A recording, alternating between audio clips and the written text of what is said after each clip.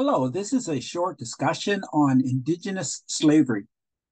Anthropological studies show that slavery in the Western Hemisphere existed among all Indian tribes.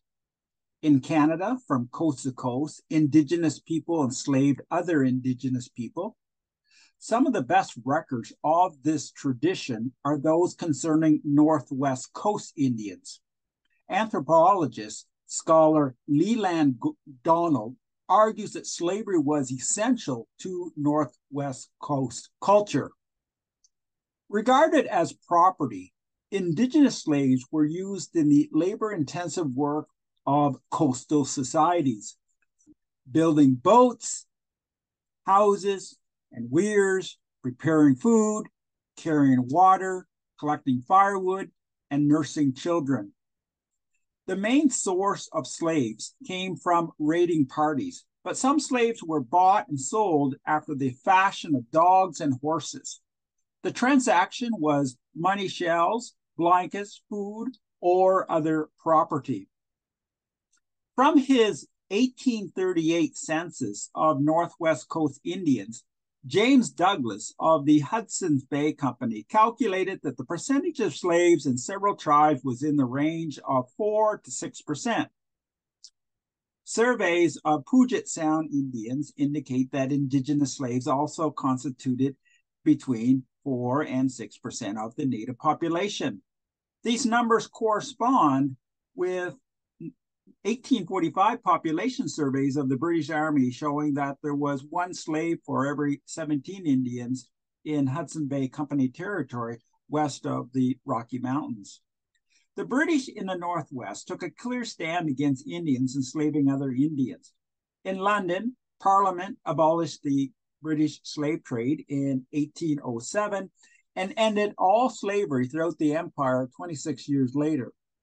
After 1833, the British Foreign Office sought to rid the world of this deviant practice.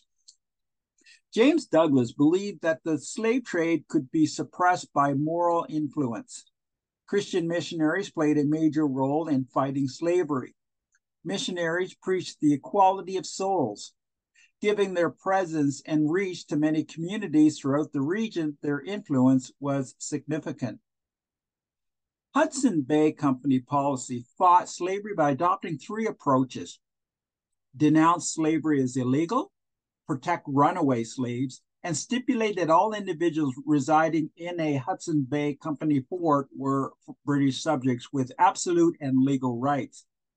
Although the Hudson Bay Company could not physically force tribes to end slavery, it could make it clear to Indian chiefs that the immoral system was displeasing in the eyes of British law. On the seas, Royal Navy officers had the task of freeing slaves, and their main strategy was to stop endemic intertribal warfare. Less tribal warfare meant a reduction in slave trading and slave taking. The Navy extracted promises from indigenous leaders to cease to take or hold slaves. Sometimes they took direct action.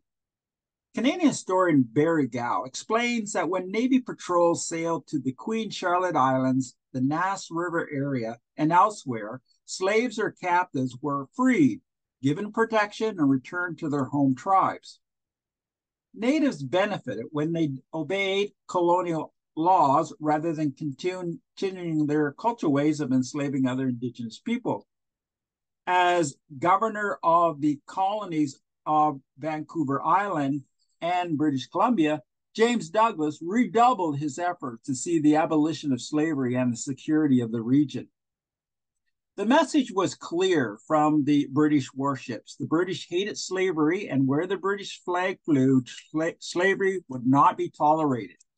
Each tribe received assurances that no tribe would have preferential treatment all work to stop slavery. According to Barry Gough, the various Indian chiefs seem to have been more concerned with economic realities and the social consequences of their situation than with the moral implication of slavery as perceived by the British.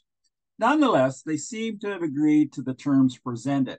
Thus, gunboat diplomacy on this maritime frontier worked to reduce interesting tensions and violence and served to weaken the ancient slaving tradition.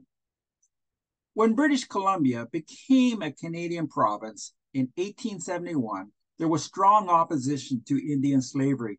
The advantages for Indigenous people were the end of fighting and the development of better relations with the government.